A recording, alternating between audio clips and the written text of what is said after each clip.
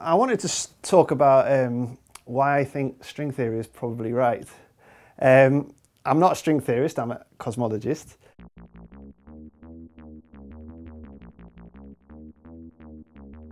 There is this debate, uh, it's a, uh, to an extent it's a debate within the scientific community. It's probably more of a, a debate which given, is given more credence, I think, by, by the public than, than within science itself.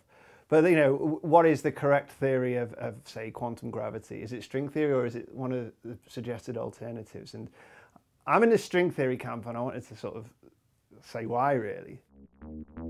So string theory basically, in a nutshell, postulates that all the building blocks of nature, so you normally think of these as being like little particles. String theory says that, well, no, they're not little particles, they're little tiny strings. So those strings can be either closed strings, so they're like a loop, a loop of string, or, um, or they're open strings, so there's like an extent of string. And uh, the different modes of vibrations of those strings give you the, the different particles that, that, you, that you perceive in nature. But even a, but a string is longer than a particle, so wouldn't a string need to be made of particles? No, it itself is the fundamental object. And when you look at it from from uh, far away, it looks like a particle because you take it so far away, you can't, you know, sort of resolve resolve the distances. But, but um, yeah, it, I mean, fundamentally, it's a string, and you, you can't break it down any further. The, it would be the fundamental object of, nature. There's this sort of the old Aristotelian idea that uh, you know you break things down further and further, and of course he he postulates that you reach the atom, right? Of course, now we get to the atom, and then we, we go. We know you could go further. You could break things down even further. Well, actually, there is a point where that stops. It stops at the string. That's it. There's no breaking down of the string. If you look at why where the problems in, in quantum gravity arise, it's it's when um, you have point-like interactions. So when things are, are, interacting at a point, particularly when gravitons are interacting at points, um, and things that couple to gravitons. When that happens, you get divergences, you get infinities, and these are infinities that you can't handle. Sometimes you get these sorts of infinities in other theories as well, within the standard model, for example, but you can handle them, right, in something called renormalization. You can't handle them within just gravity. So what string theory does is very loosely, it sort of resolves that by instead of things interacting at points, well, they can't interact at points anymore because the, the string has extent. It gives everyone a bit of leg room. If you like, yeah, yeah, it does. But but what's important to realise is is the it wasn't like that was the order of the argument. Okay, it wasn't like somebody just said, okay, well, let's just give it a bit of extent and that's going to fix everything. It's it's like you know let's imagine everything's made up of strings instead of particles. It's like, well, why strings then? Why not just something different? Why, you know, snowflakes, whatever, right? It, it wasn't that, it, that, these were plucked out of thin air. There was a natural progression that, that led to this, this idea. And I think that, that's, what's, that's what really convinces me. One of the things about theoretical physics is that, you know, on the one, it's not like we just sort of come up with an idea and then ask experiments to come along and maybe 100 years after we've died to, to verify it. It's, it's not like there's not an anything goes attitude. Physics is a it's, it's an old field now. It's, it's, it's, more mature. It's been around for longer than, than say biology. So we've learned to develop a lot of rules of the game that we, we can't mess with. These rules tell us what we're allowed to do next, even before we even go to an experiment, because those rules came from experiment themselves, right? So in particular, the, the two big guiding principles that we have are special relativity and quantum mechanics. And just those two things, when they come together, they really restrict what we're allowed to do. And it leads you very naturally to something like string theory.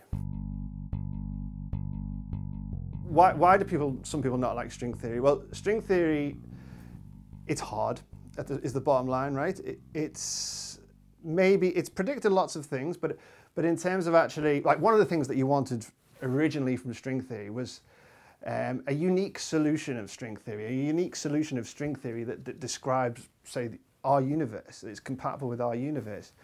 Now, string theory hasn't achieved that. But what, what you actually get out of string theory are loads of different possible scenarios, loads of different possible universes, a truly gargantuan number.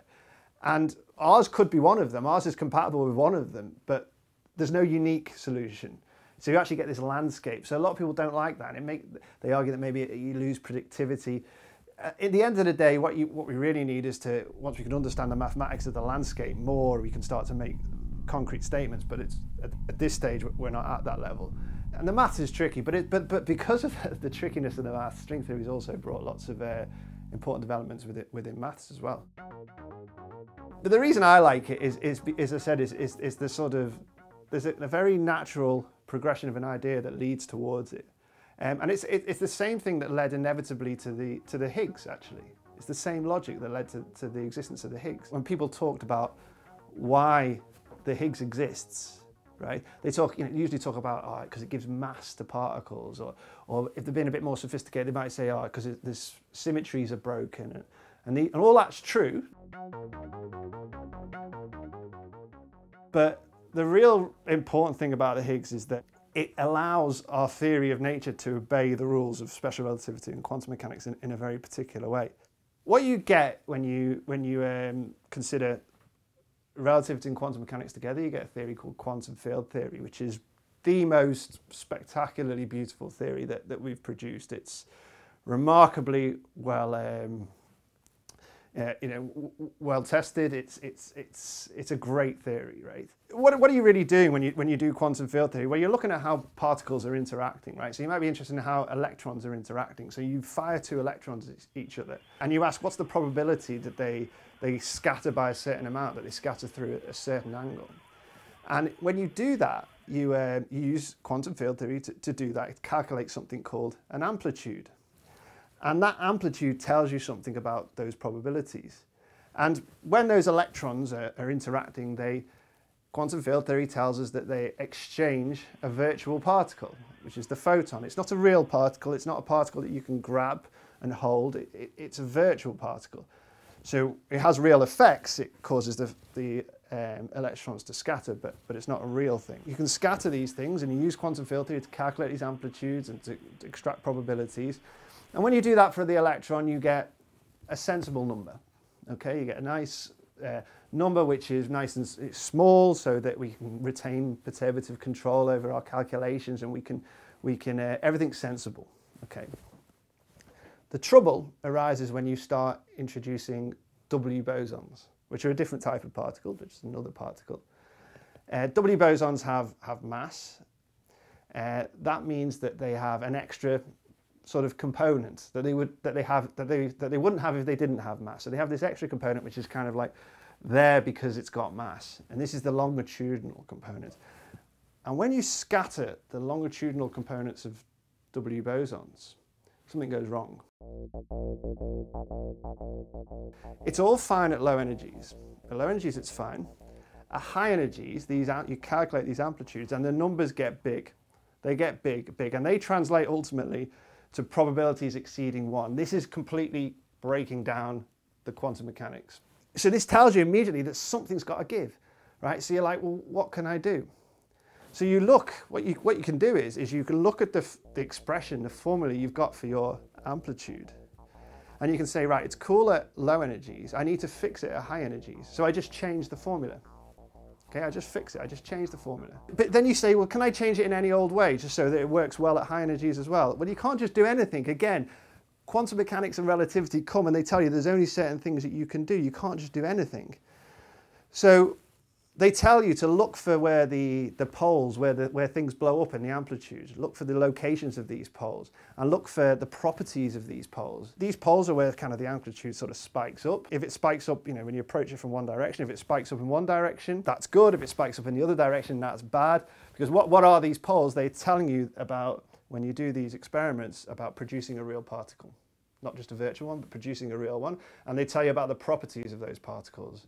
And if the spikes are in the wrong direction, that means you've got a bad particle, a particle that's inconsistent with quantum mechanics, a particle that will lead to negative probabilities and all kinds of madness. You do this, and you can do this in a, in a way that's consistent for the W bosons, right? And it turns out that the particle that you actually introduced into the game was the Higgs. So it softens everything up and everything's well behaved. So this is the lesson from Higgs. Now, let's play the game of gravity. This is where string theory comes in. In gravity, you have gravitons, right? These particles of gravity, if you like. And you can scatter them as well. You can ask what happens. At low energies, everything's fine. At high energies, things start to get, get big and start to blow up. And this makes a, a, a nonsense of your probabilities again. So things have gone around, quantum field theory broken down, you know, you, you've lost control. And this is, this is what goes wrong with gravity. So you can say, right, I've got this formula again for the amplitude. Can I play the same game? Okay. Can I just say, right, I'm going to rewrite the formula so that I improve its behavior at high energies whilst keeping the same behavior at low energies. So they did it and they say, but then you can't just, again, can't just write anything because you've got to check where are the poles, what, are the, what, what kind of new things have I introduced, right? Are they consistent with quantum mechanics? And you try and you try and you try and it's really hard and it seems to be like there's nothing you can do. And then one day these guys, Virasoro and uh, Shapiro, come along and they come up with an answer and it works. It doesn't introduce any crazy new particles. It introduces perfectly well-behaved new particles. And it's like, well, that's worked, right? It seems to have the same, it, it reproduces what we want to see at low energies. It has manifestly good high energy behavior. It's consistent. It doesn't introduce any pathological new species of particle or anything like that. It's great. And in the you know, nearly 50 years since this was found, nobody has come up with an alternative, right? Now, I haven't mentioned anything about strings at this stage, have I? Right, and this is the beauty of it. This is the beauty of it. All this was done before anybody mentioned the word string, right? But now you look at the formula that you've got and you say, can I interpret it? And you look at it and you realize that actually it's a formula that describes not the scattering of particles, but really the scattering of strings. So it wasn't that somebody said, oh, let's try strings. That was never what happened you know, you had this formula, you, you thought, let's fix the formula. Okay, let's try to guess what the, how things are going to behave at energy, what it has to do. And this kind of almost a unique answer for what it could do. And there you go, lo and behold, it was string theory all along. Well, originally, of course, historically, they, they, were, they were looking at other things. They were looking at things trying to explain the strong interaction. But there's this logical argument that you can apply to gravity, and you realize that actually the, um, out pop strings. It's not like you try strings, out pop strings. Now, of course, there are certain assumptions that I'm making here, like that you, are doing a very standard way to try to extend a theory into, into the UV and you're keeping everything at weak coupling. That means that the interactions are not getting too strong. So there, there are some assumptions in what I'm saying, but it's a very natural progression of ideas that lead you along one path, and, and that's the string theory. And that's why I buy into it really. I think most people do buy into it. I think I think I think most people do. There are a, a community which which don't. Uh, why don't they? Maybe I don't know. That's a, that's a controversial thing to to ask. What's I don't know. What's okay, so so so we mentioned a bit before about um, the fact it doesn't predict this unique state for the universe. It predicts all this gargantuan number of possibilities. That's a weakness in, in a way. Some people might interpret that as a virtue because when you've got so many possibilities, you're going to get one that's compatible with what we see, right? But it could also be described as a weakness. I don't think it's fair to say it's not really a testable theory. I think, I think that's, that's not true. Um, I think you can, for example, you assume that the symmetries of, of special relativity are present. Uh, and if we find any evidence that, that they're not, then that would be a, a proof against string theory. So it's, it's wrong to say that, that it's not um, that, that, it, that it's not a, a testable theory. A another issue that people might have with, with, with string theory, for example, would be um, the cosmological constant. We know that we see out there, we, we see the universe accelerating. That requires a positive cosmological constant, just this parameter in your in your physical theory. The vacuum energy of the universe should be positive. The energy, uh, when you take everything out of the universe, the leftover energy, it should be positive. That would be compatible with this accelerating universe that we see. String theory doesn't really like that. It prefers either zero or negative. That's not to say it can't necessarily give you the positive one. There are some ideas out there which try to construct these, these within string theory. They have been criticized in some quarters. It's, it's cutting edge, ongoing stuff, right? But that might be one perceived weakness of, of string theory, trying to get that positive cosmological constant out. But yeah, there are, there are there is serious work out there doing that and, and indeed that claim to have done it. Is there an ultimate test or proof? Is there a, is there a silver bullet out there that you could say, look, string theorists were right all along? Well, I, I think I think there would be. Yeah, I think I think so. At the moment, so we talked about the formula that, that this this formula that sort of uh, Virasoro and Shapiro came up with that does everything it needs to do. Right now, it's not been proved that that's the unique choice that you could have made right? Given all the criteria that you want, that it reproduces the right things at, at low energies, uh, and it doesn't introduce any pathologies, you know, that violate quantum mechanics and all that. Is it unique? We don't know. If somebody comes along and proves that it is unique mathematically, which is this is a mathematical exercise now, um, then I think that's a feather. That, then it's kind of like it could only have ever been string theory, right? And you didn't have to do any experiment to prove that. Or the only experiments you need to prove that are the experiments that confirm special relativity and quantum mechanics. So that for me would, would, would be, it really. The other thing that string theory typically needs is, is supersymmetry. So um, if we found evidence of supersymmetry, then uh, that would be good for string theory. Of course, we haven't found it. It's not going to be found at the LHC by the looks of it. But that's not to say that string theory is wrong. It just means that the, the supersymmetry kicks in at a higher energy that the LHC can't see. So you have two types of, of particles in nature. You have bosons and, and, fermions. So, for example, the Higgs particle is, is a, like a boson. So is the photon is a boson. The graviton is a boson. They're characterized by the fact that they have integer values of their spin. It's like an intrinsic spin, and they have integer values. There are also fermions. They have half integer spin, so things like the electron. And what supersymmetry does is it, it postulates a symmetry between these two kinds of particles. So for every boson, you have a fermion. For every fermion, you have a boson. Um, and yeah, that's what, so it kind of doubles up the number of particles, but it, it, it's a very natural extension of the symmetries that we know of. That you, the, the next step up would be that you would include supersymmetry. So again, it's just a natural progression of ideas. And string theory requires it because without it, it predicts the, uh, it's unstable. It, it is the natural path of all the ideas that have been built up over the 20th century. That in a way, string theory is the natural place that you would go next. So I don't think you need a rewriting of anything. I think it would be the opposite. If string theory was found to, to somehow not be right, then you'd have to start thinking about rewriting all the textbooks. I think it would be the other way around. I mean, the other thing I suppose that people people criticize string theory for, of course, is that it's a theory. It predicts the dimensionality of the universe to be um, ten space-time dimensions which you know you look outside and there's there's four, three dimensions of space, one dimension of time. So where are the other six? But but this is this is this you can easily you know you can imagine that they're wrapped up very small or that we live on a brane membrane or something like that. This is not not really an issue. Here and you can see how truly big it is. I mean it's it's vast. You know, and it's kind of I think it's crazy to think that you know it's so big and yet we're looking at something so small. Security onto us. They found out we're breaking into the treasure boxes. It's okay, sir. This is authorised. I'm here with Keith. Yes. All right. You're going to watch us open the box? Yes, yes. Come on then. What's your name?